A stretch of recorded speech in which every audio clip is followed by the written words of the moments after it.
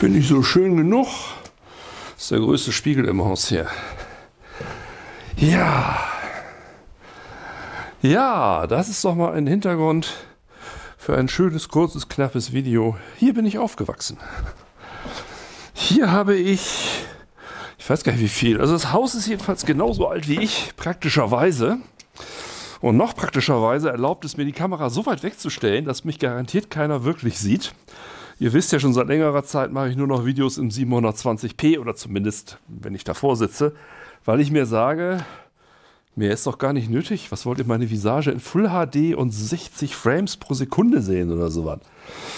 Worum geht's? Es geht um YouTubende oder YouTube-Innen. Also Schluckaufsprache. Die Schluckaufsprache sollte mir gar nicht in den Mund kommen. Selbst dem ZDF, das ganz vorne bei Schluckaufsprache dabei war, ist inzwischen aufgefallen, dass das bei den Leuten überhaupt nicht gut ankommt und hat auf Ende umgeschult. Ne? Also wo vorher von ForscherInnen die Rede war, ist jetzt von Forschenden die Rede. Äh, auf dem Kanal, auf dem der von mir aus überaus geschätzte Professor Harald Lesch seine Videos macht, da ist auch eine Mitarbeiterin, die war selber auch ganz vorne dabei und hat immer innen, innen, innen gesprochen, also Schluckaufsprache. Und irgendwie hat das ZDF Wind davon gekriegt, dass diese Innenbewegung von äh, den Zuschauern, vom, vom deutschen Volke könnte man sagen, einen gewaltigen Gegenwind gekriegt hat. Die Umfragen sprechen so von mehr als zwei Drittel sind total gegen diesen Quatsch. Und da habe ich mir gedacht, Mensch, die haben doch jetzt umgestellt auf Forschende. Ne? Man sagt nicht mehr Forscher haben oder Forscherinnen haben, sondern Forschende. Mhm. Und da habe ich mir gedacht, wir sind hier in Deutschland, alles braucht Regeln, also muss das auch eine Regel werden. Also Forschende. Ne, das klingt dann zwar so, also sachlich ist es falsch, weil die forschen ja nicht pausenlos. Forschende heißt ja, die sind jetzt gerade am Forschen. Tun sie ja nicht. Die schlafen, die essen, manchmal haben sie auch Urlaub. Aber von mir aus sei es drum, wenn sich die Feministenbewegung dann besser fühlt. Forschende. Ich hätte übrigens auch nichts dagegen, Forscherinnen und Forscher zu sagen. Von mir aus also auch nicht Forscher und Forscherinnen, sondern Forscherinnen und Forscher, wäre mir völlig wurscht. Nur diese Vergewaltigung der Sprache geht mir dermaßen gegen den Strich. Vor allen Dingen, weil das so eine, so, eine, so eine Modeerscheinung ist. In 20 Jahren spricht wahrscheinlich kein Mensch mehr davon. Und wenn doch, dann lachen sie alle. So was habe ich denn noch gehört? Studierende. Wir haben also hier in der Bremer Uni nicht mehr Studentinnen und Studentinnen oder Studentinnen und Studenten und schon gar keine StudentInnen. Ja, vor so einem 2-Meter-Brocken, Sonne Schulter, sagt man, ha, ein Studentin. Mal gucken, wer sich das traut. Also Studierende. Die studieren natürlich auch nicht pausenlos, sondern ne, ne, zwischendurch. Und da habe ich mal so eine Liste gemacht, so was mir so im Fernsehen so über den Weg gelaufen ist. Jagende. Habe ich inzwischen auch gehört. Es gibt ja immer mehr, Jägerinnen. Oh, Entschuldigung, darf man nicht mehr sagen. Es gibt immer mehr Jagende innen. Weibliche Jagende. Alles andere wäre ja politisch unkorrekt. Ja, und das dann fielen natürlich sofort Jagende, haben beschlossen, haben erzählt. Ja, und dann spiele ich ja sehr viel Daisy in letzter Zeit wieder mal viel zu viel. So langsam habe ich die Schnauze sogar von Daisy wieder voll, aber momentan geht's noch. Da gibt es Mutanten. Mutantinnen. Mutantende. Ne, wenn das eine Regel wird, ne, dieses Forschende, Studierende, Jagende, dann muss es auch Mutantende heißen. Das wäre nur logisch. Aber nee, das wollen wir nicht. Mutanten ist ja schon der Oberbegriff. Ach, dann, dann sag doch mal, das sind Mutanten. Wart mal ab, wie die Feministen ankommen. Na, da ist aber eine Frau dabei, das muss Mutantin heißen. Mutanten und Mutantinnen. Bei der nächsten politischen Rede, wo dann der Genosse Vorsitzende die Wählerschaft begrüßt, liebe Kinder und Kinderinnen, liebe Mutanten und Mutantinnen, liebe Mutantende, liebe Kindernde. Ja, wie ist denn das? Lieben, liebe Kinder, Kinder, Kinder ist ein Oberbegriff. Der ist, der geschlechtsneutral? Kinder, Kinderin, Kindernde, Menschen mit Kindern, die Kinder kriegen, sind Kindernde? Ich weiß nicht. Äh, Trauernde, da macht es plötzlich Sinn. Die Trauernden versammeln sich. Da steht nicht die Trauernden und die Trauerinnen, sondern die, die Trauernden, männlich. Und die Trauernden, weiblich, ist identisch. Was macht man denn? Das, das, kann das im Sinne der Feministen sein, dass das identisch ist? Das geht doch nicht. Ja, Minister. Und es gibt auch Ministerinnen. Nein, gibt es nicht. Es gibt jetzt Ministernde. Weil das muss ja eine Regel werden, ne? nach dem Duden irgendwann muss es dafür ja eine Regel geben, wie das richtig gemacht wird. Also muss das Ministernde heißen. Wird euch auch langsam schlecht? Ja, mir auch. Ähm, ja, ich habe ja gesagt, Terra X, äh, beziehungsweise die, die Weltraumabteilung, das ist ja der Professor Lesch, nebst seiner Gehilfin, ich, ich weiß nicht gerade jetzt nicht, wie sie heißt. Sie, wenn sie da mitmachen darf, dann heißt das, das ist eine hochgeschätzte Wissenschaftlerin. Die wird wissen, was sie sagt. Leider hat sie diesen Innentick. Astronautende. Das ist mir aufgefallen, weil Astronauten, das hat sie, sie gesagt, Astronauten und Astronautinnen auf der internationalen Raumstation, bla bla bla bla.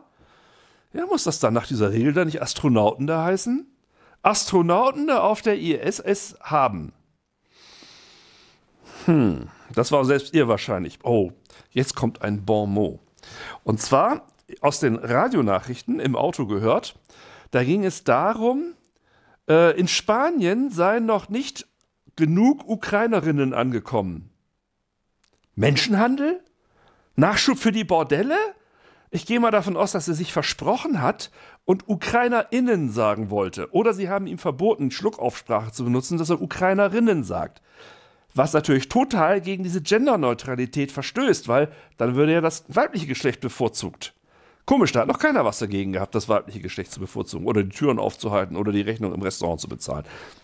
Das nimmt man dann so hin als Frau wahrscheinlich.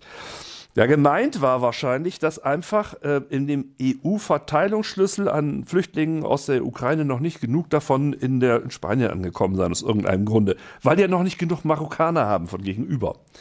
Äh, ja, und dann diese Regel, Ukrainernde. Ja, sorry, so muss das dann heißen. Wenn man es konsequent macht, muss das Ukrainernde heißen. Weil Ukrainer und Ukrainerinnen ja, Ukrainer ist der Oberbegriff und der ist maskulin. Ja, was macht man da? Das hier habe ich ebenfalls im Radio gehört. Arbeitgebende. Es gibt keine Arbeitgeber mehr, wie die Arbeiter, die Gewerkschaft, die, die, die, die Zusammenschluss der Arbeitgeber, bla bla bla bla. Ja, es gibt ja auch weibliche Arbeitgeber und deswegen muss das jetzt Arbeitgebende heißen. Untotende. Da wären wir wieder bei Daisy. Ein Untoter, die Untote. Also muss das nach dieser Regel heißen Untotende. Dieses Haus wurde von Untotenden gestürzt, gestört. Weil, wenn man Untote sagt, das wäre ja nicht nach dieser Regel. Naja. Auch das hier habe ich original gehört im Radio. Da ging es um den, um den Streit der Windkraftarbeitenden. Ja, ehrlich, Mitarbeiter der Windkraftindustrie oben im Norden, irgendwo Schleswig-Holstein, sind in Streik getreten. Die Serviceleute. Servicekräfte der Windkraftmitarbeitenden. Das haben die so gesagt über den Sender. Da fragt man sich manchmal, was die rauchen da oben. Ne? Also, hast du einen Chef? Ja. Hast du Chefin? Ja. Scheffelnde. Man hat keinen Chef mehr, das geht. Ich kann doch nicht sagen Chef oder ganz pauschal Chefs. Die Chefs der bla bla bla. Nein, das müssen Scheffelnde sein. Ich meine, hier stimmt es ausnahmsweise, weil die scheffeln ja kräftig, aber Scheffelnde. Also ich werde das künftig benutzen und wenn mich jemand auslacht deswegen, dann weiß er genau, warum ich das benutze. Äh, das ist ganz schwierig. Menschen. Menschen, Menschinnen Menschende, das geht nicht, ne? Das Menschen ist schon ein Oberbegriff. Zum Glück heißt es nicht Menscher oder so. Der Mensch, Einzelstück. Die Menschen, es gibt keine weibliche Form von Mensch. Das ist ein Problem. Der Mensch, die Menschin, geht nicht. Die Menschin. Pech gehabt. Die Regel stirbt einen fürchterlichen Tod. Ähm, Im Grunde stirbt die ganze Sprache schon einen fürchterlichen Tod vorher. Aber ich dachte, ich erwähne es mal.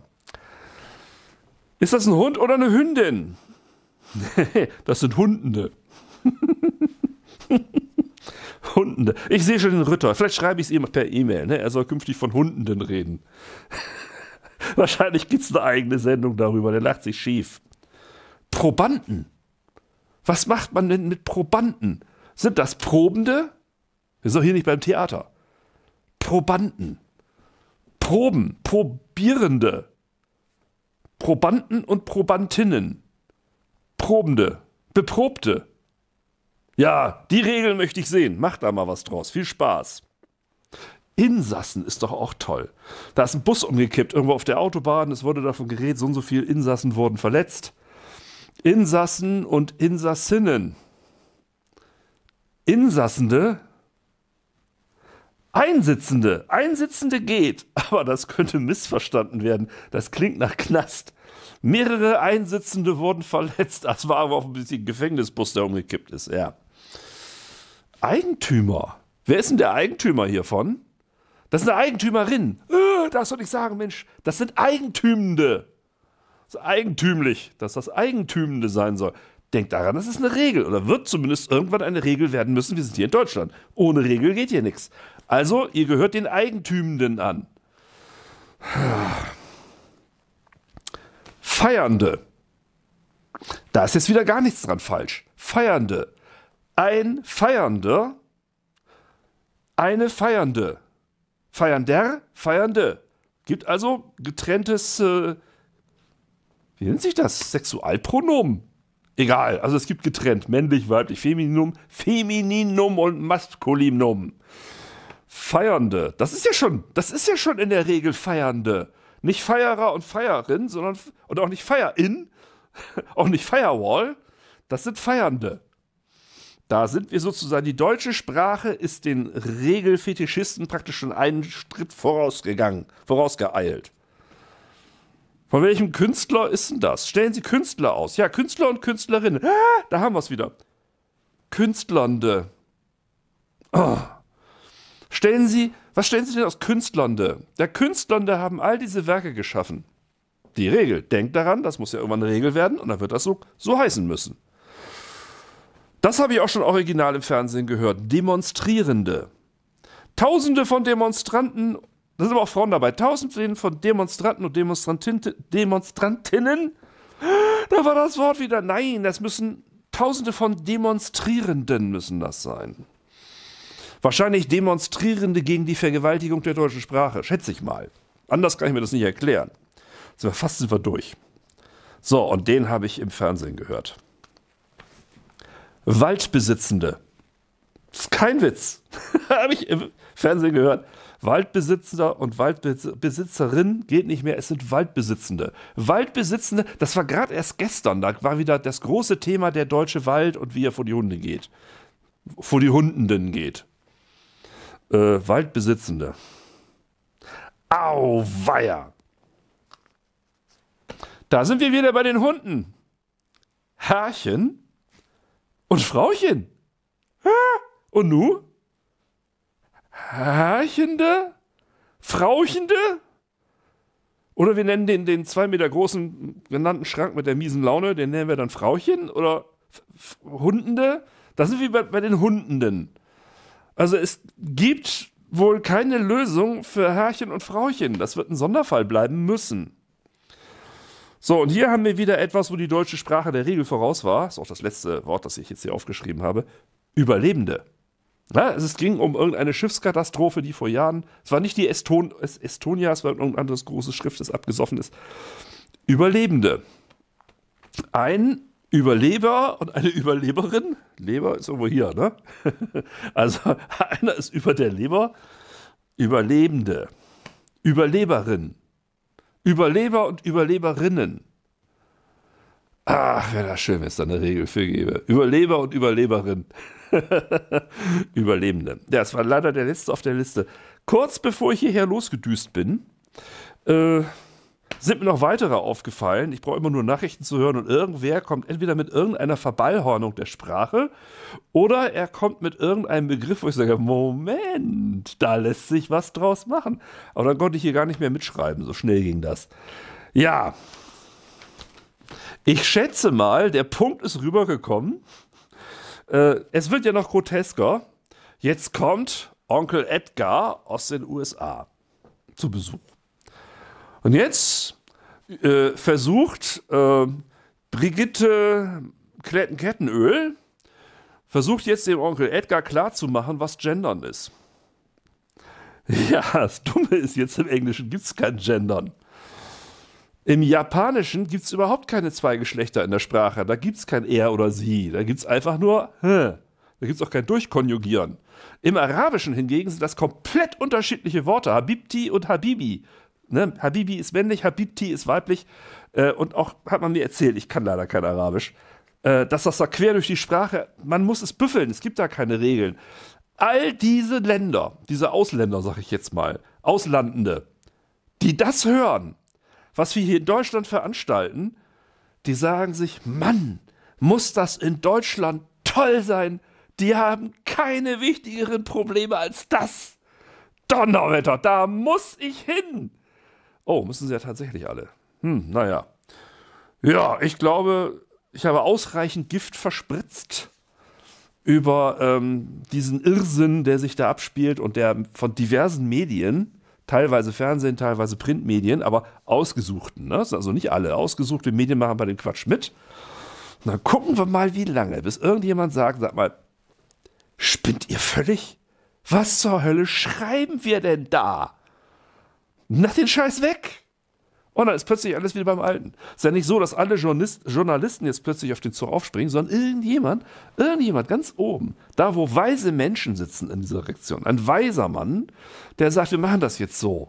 Wahrscheinlich Frau Kletten-Kettenöl, wahrscheinlich eine Frau, wahrscheinlich mit Bindestrichnamen. Der, der, die Bezeichnung Strichmädchen ist übrigens nicht nett in diesem Zusammenhang. Der, der Bindestrichname ist ja auch gerade wieder aktuell, weil jetzt will man den Bindestrichnamen ja auch den Kindern weitergeben können, damit die auch Kletten Kettenöl heißen können und nicht nur Kettenöl oder Kletten. Äh, ja. Juckt mich das? Nee, da gibt es Wichtigeres. Aber mich nervt diese, diese Sprachgeschichte, nervt mich ungeheuerlich. Vor allem, weil man ihr nicht ausweichen kann.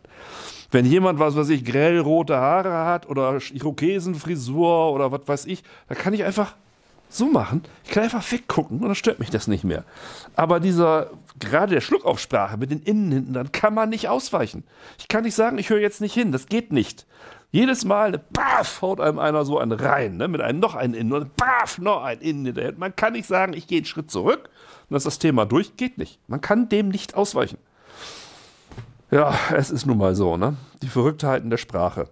Die Verrücktheiten der Jugendsprache will ich jetzt gar nicht aufgreifen, weil wenn ich das jetzt höre, dass von kleinen Katzen überall nur noch von Kitten die Gerede äh, ist, warum sagt man nicht einfach Kätzchen? Nein, es müssen Kitten sein. Ich denke immer, Kitten, ist das nicht dieses klebrige Zeug, was man so an die Fenster macht? Kitten? Was willst du denn da kitten? Die Ehe ist nicht mehr zu kitten. Äh, oder was weiß ich, also die Jugendsprache jetzt speziell das ist teilweise so abgedreht, wenn da irgendjemand gebencht wird oder wird äh, ist cringe oder ich weiß nicht, ich komme da kaum gegen an. Wir waren damals auch nicht anders. Und damals haben uns die Eltern immer gesagt, was wir für eine komische Sprache reden würden. Drauf geschissen, so ist es halt. Aber der Kram, das ist ja hier nicht irgendwie von, von Jugendlichen. Ist ja keine Jugendsprache, die sich entwickelt, sondern irgendwelche weisen Menschen haben beschlossen, dass das jetzt so sein muss. Ich nicht. Bei mir wird es auch nicht passieren. Auf diesem Kanal, der ist genderfrei. Hier sind das Männer und Frauen. Punkt. So, äh, gut, das reicht. Danke fürs Reingucken. Sagt euch der Mann, der heute einen weiten Weg hat, um diese Kamera auszumachen. Oder die Waldfee, hoffentlich finde ich den Weg zurück überhaupt noch. Ja. Tschüss. Bevor, ich, bevor ihr seht, wie ich aufstehe mit knarrenden Geräten.